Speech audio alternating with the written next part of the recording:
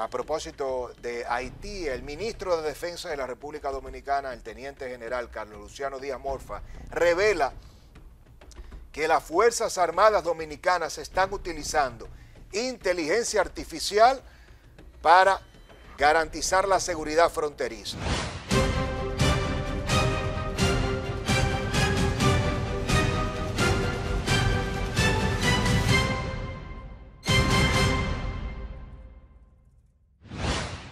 Extraordinaria noticia.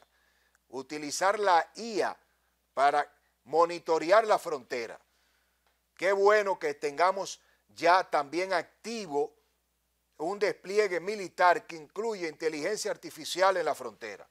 Me imagino que con esa inteligencia artificial estamos también, deberíamos también, ministro Díaz Morfa, identificar a todos los militares corruptos que tenemos en la frontera. Vamos a aplicarle la IA a todos esos militares y civiles que tienen búsqueda. Vamos a cancelar a los militares malos.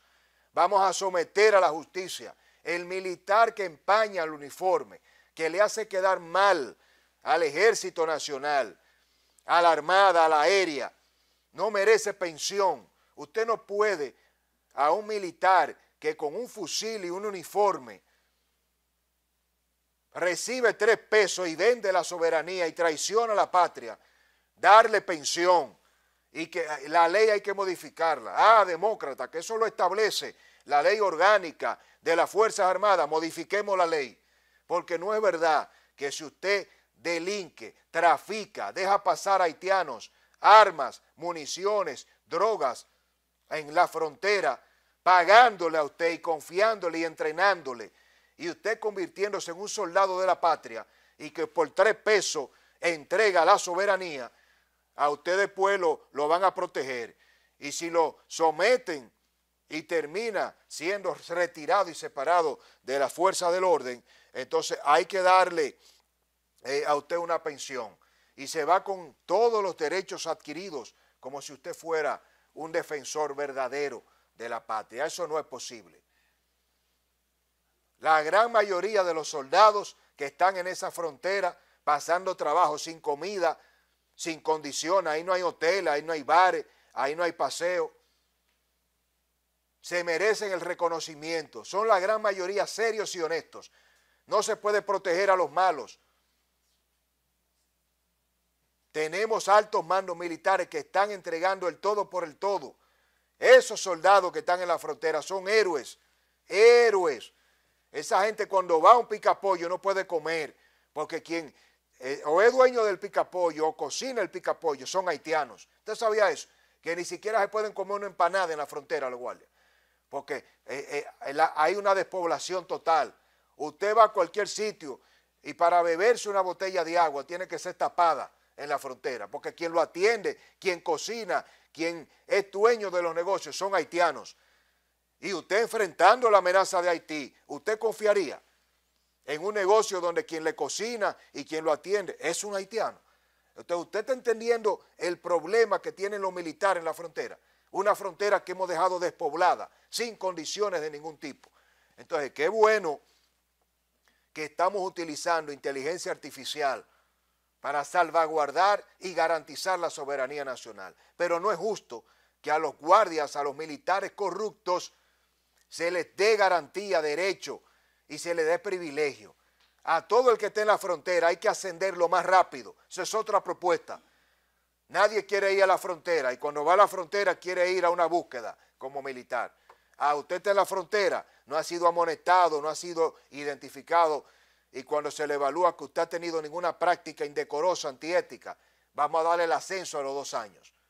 Hay que ascender a todos los militares, hay que darle las mejores condiciones cuando están dispuestos en la zona fronteriza.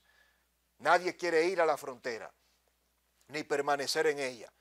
Pero los que están dispuestos, reitero, ¿qué usted tiene que hacer? Ascenso en cuatro años. Usted está involucrado en labores de seguridad y defensa fronteriza dos años, la mitad del tiempo para que llegue a general. Usted es coronel y no está en estructura de mafia, hay que darle privilegios para que llegue rápido al próximo rango. Hay que darle incentivo, hay que pagarle mucho más al guardia, al, militar fronterizo, para que tenga una motivación de no solo ir a la frontera, sino de no involucrarse. Son dos extremos en hechos ilícitos.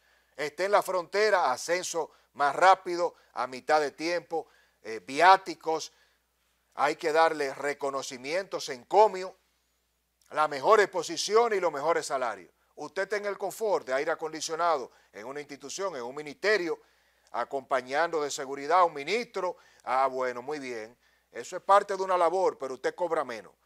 No puede ser ascendido más rápido el que se la busque y tenga un ministerio que el que esté en la frontera cuidando el país. La única verdadera y gran amenaza de la República Dominicana es esa realidad fronteriza.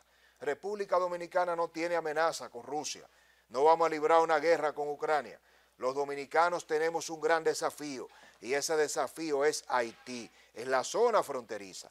De manera que el trabajo que hacen nuestras extraordinarias Fuerzas Armadas, gloriosas Fuerzas Armadas, hay que reconocerlo, hay que motivarlo, hay que cuidar ese ejército. Hay que motivar para que los militares y policías serios y honestos, que son una gran mayoría, no se sientan que lo metemos a todo en un mismo saco. Todos los militares son corruptos, incorrecto. Todos los policías son corruptos, tampoco.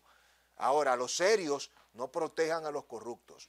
Vamos a motivar vamos a modificar la ley orgánica de las Fuerzas Armadas para que el militar que se involucre en hechos antiéticos, aceptando sobornos o formando parte de estructuras criminales en cualquier parte del país, pero sobre todo en la frontera, sea sometido a la justicia, destituido y cancelado sin ningún privilegio y que no pueda involucrarse en ningún tipo de función pública después que va a la vida civil. Hay que motivar y premiar a los buenos y castigar a los malos. Una extraordinaria labor están haciendo nuestras Fuerzas Armadas y ahora es que lo necesitamos.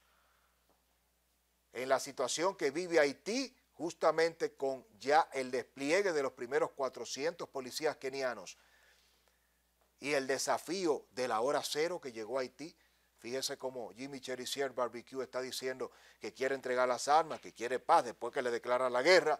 Estamos en el punto más álgido, en el punto de inflexión con el tema haitiano. Bueno, vamos a comerciales, como les había anunciado. Tenemos ya nuestros estudios a Pablo Ulloa, defensor del pueblo, gran amigo. Extraordinaria labor está haciendo Pablo en el defensor del pueblo, un antes y un después en esta institución que eh, garantiza los derechos de todos los dominicanos sin importar su estatus social. Eh, antes usted no tenía a qué institución acudir cuando se le vulneraban sus derechos, ahora el defensor del pueblo como institución y Pablo Ulloa, un profesional eh, ético y moral como el que más, gran amigo de más de 20 años, le ha puesto un rostro, una identidad a esta institución que vela de manera transversal eh, por todos los intereses de toda la ciudadanía. Vamos a comerciales y conversamos de todos los aspectos eh, que impactan la agenda nacional con nuestro gran amigo Pablo Ulloa.